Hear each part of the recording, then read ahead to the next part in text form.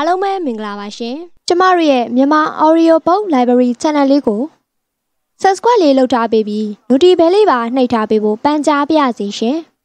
မြန်မာ Audio Book Library ရဲ့ပရိသတ်ကြီးများအားလုံးမင်္ဂလာပါရှင်ယနေ့ညတင်ဆက်ပေးမယ့်ဇလန်းကြောင်းရာလေးကတော့စာရေးသူ မောင်စိန်ဝင်းပဒီကုံရေးသားထားတဲ့ ရစ်ပိန်းနဲ့စက်ကူစုံဆိုတဲ့ဇလန်းလေးကို တင်ဆက်ပေးသွားမှာပဲဖြစ်ပါတယ်ရှင်။နာတော်တာစမေးကြပါအောင်ရှင်။အမေသည်ကျွန်တော်ကိုမွေးဖွားရန်တသက်လောကတဲ့သူရောက်လာခဲ့လေတလားဟုတခါတရံကျွန်တော်တွေးမိပါသည်။အမေကိုကျွန်တော်အဖိုးကအိမ်အောင်ချပေးတော့အမေကအသက်22နှစ်ကျေးဇူးမျိုးစုအတအဝွန် ရထဲရွာတဲ့တင်မကအနီးအနားရက်ရွာတွေအထိဩဇာလွှမ်းမိုးသည့်အဖိုး၏အစီအမံကို အမိတ်တစ်ခုနဲ့နာခံယုံမတပါ အမေစဉ်းစားစရာမရှိခဲ့ပါချစ်သူရည်စားတနာဟု၍လည်းမရှိခဲ့ပါအဖေမှာချစ်သူရည်စားရှိခဲ့ပါသည်မရှိခဲ့သည်လည်းမသိခဲ့ပါလက်ထပ်ပြီးတော့အဖိုးအိမ်မှာအဖေကလိုက်လာခဲ့ရသည် ဒီမှာပဲအဖိုးနဲ့အဖေပြဿနာကအစခဲ့သည်ဆိုသည်အဖိုးကအမြဲတက်ကြွဖြစ်လက်ပြီးအမျော်မြင်ကြည့်သူစီးပွားရေးလက်မြင်သူတိကျပြတ်သားသူအဖေကအေးစစ်စစ်နေတတ်ပြီးရောက်ရဲတင်းတိမ်စိတ်ရှိသူစကားများစွာမပြောတတ်သူဒီတော့ဇရက်ချင်းကမတူတော့လုပ်ငန်းတွေမှာလည်းအဖိုးကရှေ့ကိုကြိုမြင်သလား အဖေကမလိုက်နိုင်မမြင်နိုင်မင်းတော်တော်အားတဲ့အကောင်ပဲဆိုသည်မှတ်ချက်အဖိုးနှုတ်မှထွက်လာတော့သည်မကြမကြဒီလိုမှတ်ချက်မျိုးကြားရတော့အဖေစိတ်ခုလာသည်အဖိုးနဲ့အတူမနေဖို့ဆုံးဖြတ်ခဲ့အံတူသည်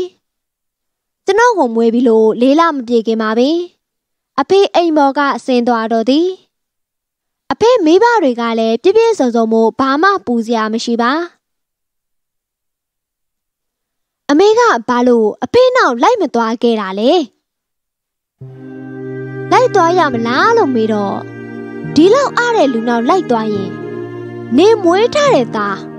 ဘတော်မှလူတစ်လုံးသူတစ်လုံးဖြစ်မှာမဟုတ်ဘူးလိုက်ချင်ရင်ခလေးထားခဲ့လို့နင့်အဖိုးကပြောတာ ကျွန်တော်အမေကိုနားလဲသွားသည်သူ့သားလူတစ်လုံးသူ့တစ်လုံးဖြစ်ရင်းနဲ့အိမ်တော်ရေးကိစ္စသည်အမေနှလုံးသားကိုချီနှောင်ပြီးတပတ်စီဆွဲနေသည့်ကျိုးနှဆဖြစ်နေလိမ့်မည်အဖိုးကြီးအရေးသည်သူ့သားအတွက်အလုံးကြုံဆုံးနေအဖိုးကြီးပခုံးသည်သူ့သားကို အမြင့်ဆုံးရအောင်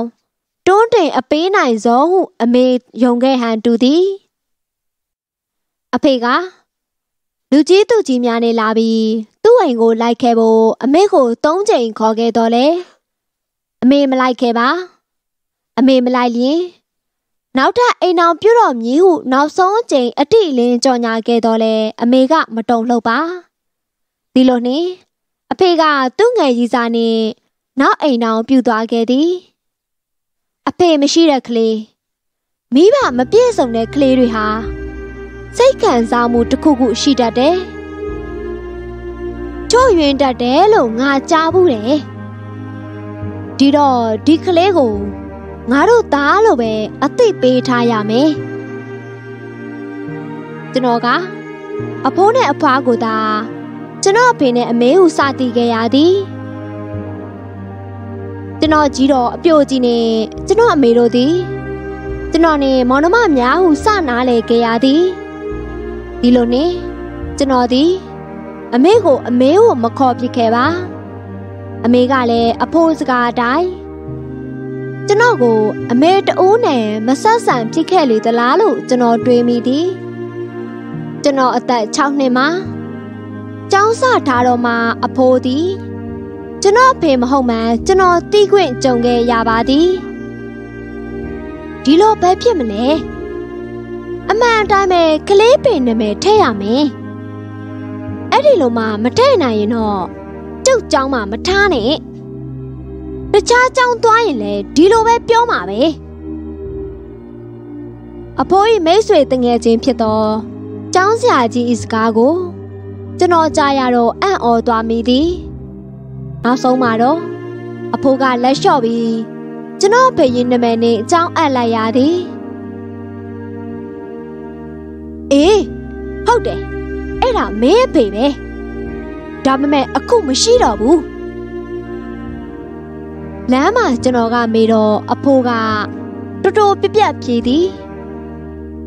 နောက်လဲဘယ်တော့မှမမေးနဲ့ကျွန်တော်လည်းထပ်ပြီးမမေးရတော့ပါကျွန်တော်အရွယ်ရောက်လာလေလေအဖိုးသည်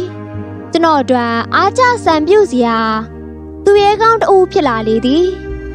အဖိုးဤဤကြပြတ်သားမှုအမျှော်မြင်ကြည့်မှု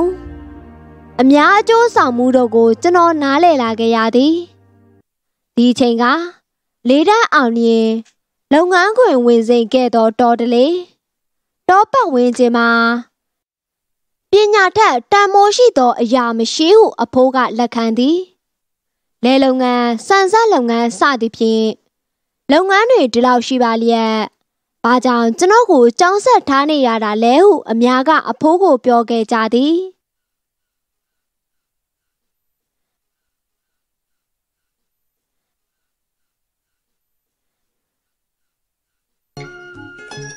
ခုနှစ်တန်းစကောလာရှစ်စာမှုပွဲကို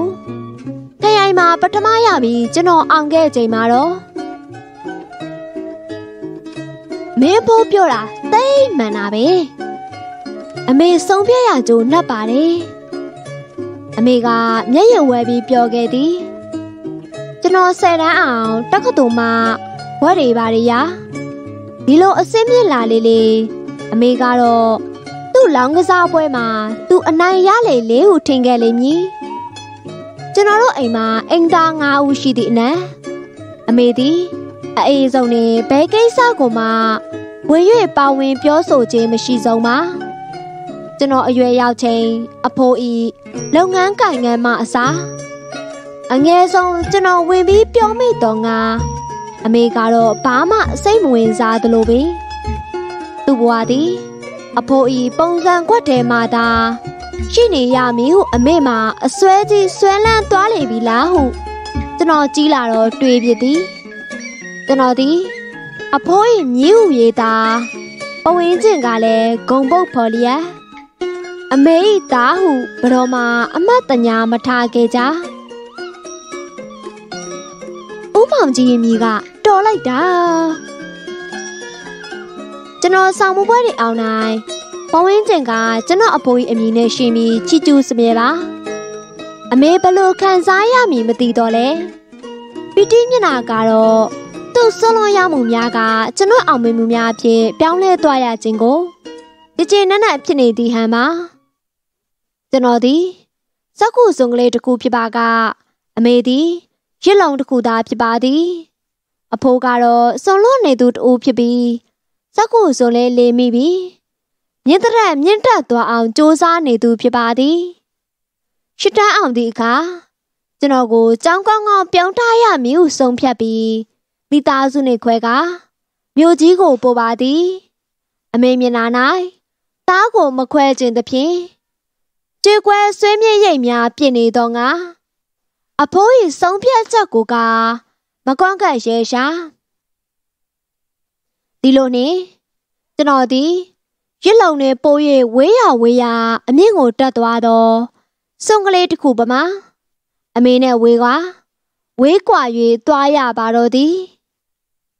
ကျွန်တော်ရန်ကုန်မှာအခြေတကျဖြစ်သည့်အချိန်မှာအဖိုးနဲ့အဖွားမရှိတော့ပါ ကျွန်တော်ကြည့်တော့ကျွန်တော်ရဲ့မွေးစားအမေနဲ့အမေတို့နှစ်ဦးသာကြံခဲ့ပါသည်ကျွန်တော်မွေးစားအမေသည်အဖိုး၏ခြေရာကိုနင်းနိုင်သူဖြစ်ပြီး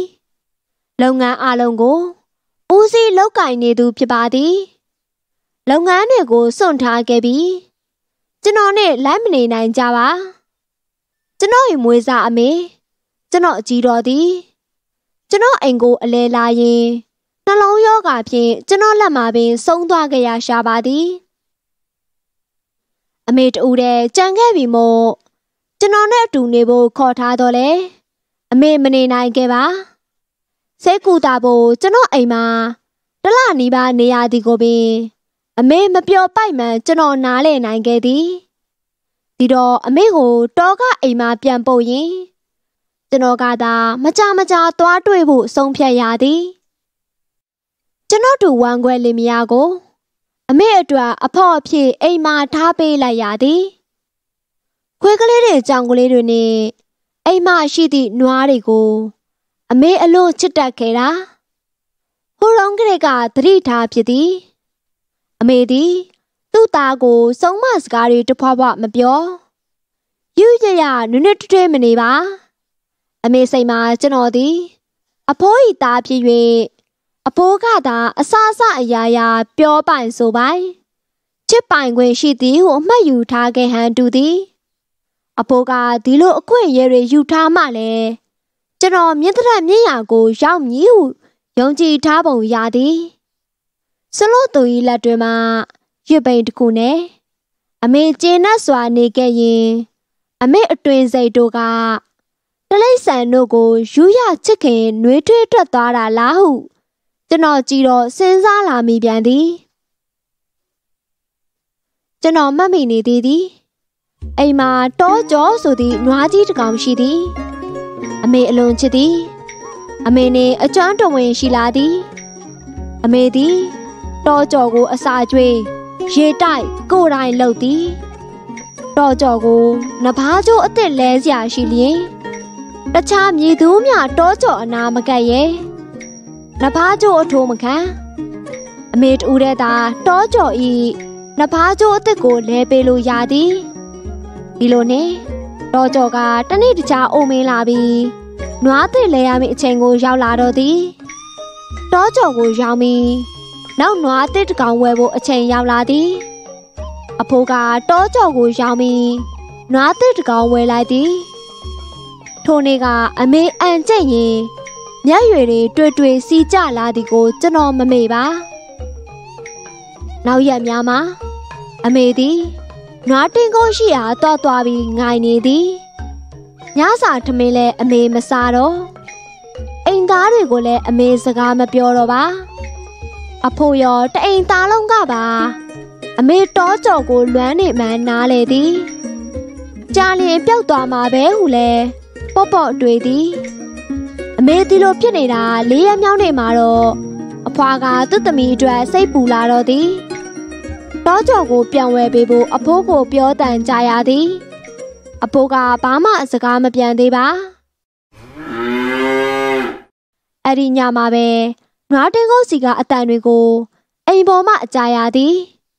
ခြေတံတွေပြီးတော့နွားတင်းကုန်းတကားကိုတိုးတန်ပြီးတော့နွားတုံတန် အမေချက်ချင်းအိမ်ပေါ်မှပြေးစင်းသည်မိအိမ်တွေဘာတွေထုံပြီးတိမ်လုံးရောက်လာချိန်မှာအမေကတောကျော်ဤဦးကောင်းကိုပွေ့ပတ်ပုတ်တက်ပေးနေတာမြင်ကြရသည်သူ့ကိုရောင်းလိုက်သူဤအိမ်မှာတောကျော်အမေစီကို ပြန်ပြေးလာခဲ့တာပါလားနောက်မနက်မှာအဖိုးကသူ့ပိုင်ရှင်ကိုငွေချေပြီးပြန်ဝဲပေးလိုက်ရတော့သည်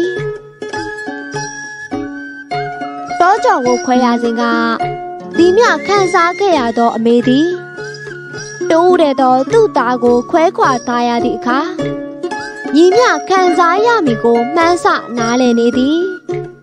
တိုးတက်မြင်မားစေလိုသောစေတနာတရားဖြင့်ဝေဒနာကိုကုစားမည်ဟုလည်းသိနေသည်ထို့သို့နားလည်ပါလျက်သိပါလျက်နဲ့ကျွန်တော်သည်အမေထံတောကြော်ကဲ့သို့ ပြန်ရောက်မလာနိုင်သေးပါလားဇလန်းလေးကတော့ဒီနေရာမှာပြီးဆုံးပါပြီရှင်။နောက်ရက်တွေမှာလည်းစိတ်ဝင်စားစရာကောင်းတဲ့မြမစာရေးဆရာများရဲ့စာပေအမျိုးအစားစုံလင်ကိုအတန်ဇလန်းအနေနဲ့တင်ဆက်ပေးသွားမှာဖြစ်လို့ဇလန်းဆောင်မျောနားဆင်အားပေးကြပါဦးရှင်။နားဆင်ပေးခဲ့ကြတဲ့တယောက်ချင်းစီတိုင်းကိုလည်းအထူးပဲကျေးဇူးတင်ရှိပါတယ်ရှင်။ တာယာအေးချမ်းတဲ့ဘဝလေးများပိုင်ဆိုင်နိုင်ကြပါစေရှင်။